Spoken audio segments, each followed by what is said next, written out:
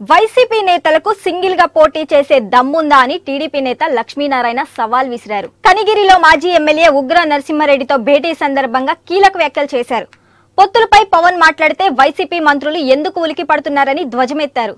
విపక్షాలు ఏకమవుతుంటే వైసీపీ నేతలకు ఓటమి భయం పట్టుకుందని ఎద్దేవా చేశారు. సినిమా డైలాగులు చెప్పే వైసీపీ నేతలు పొత్తులు మాటెత్తితే హడలిపోతున్నారని దుయ్యబట్టారు.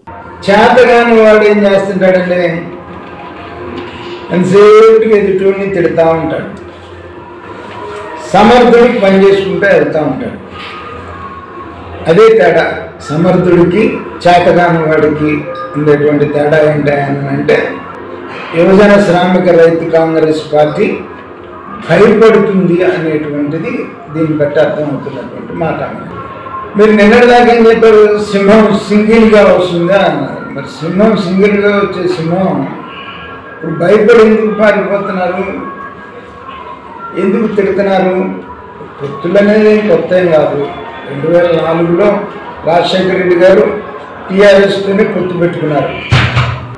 పవన్ కళ్యాణ్ గారు ఒక రాజకీయ పార్టీ పెట్టి పది సంవత్సరాలుగా ఈ రాష్ట్రంలో సస్టైన్ అవుతా ఉంది రాజకీయ పార్టీ. పోరాడుతూనే ఉన్నాడు ప్రజా సమస్యల మీద. పోరాడుతూనే ఉన్నాడు. తనది ఒక రాజకీయ పార్టీ.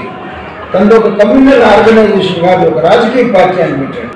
ఆ రాజకీయ పార్టీ తీసుకున్నటువంటి నిర్ణయాల మీద అసలు క్వశ్చన్ చేయడానికి వీళ్ళెవరండి మీకు దమ్ముంటే మీరు చెబుతుంటారు మేము మగాళ్ళం అది ఇదని మీరు మగాళ్ళు అయితే పోరాడండి.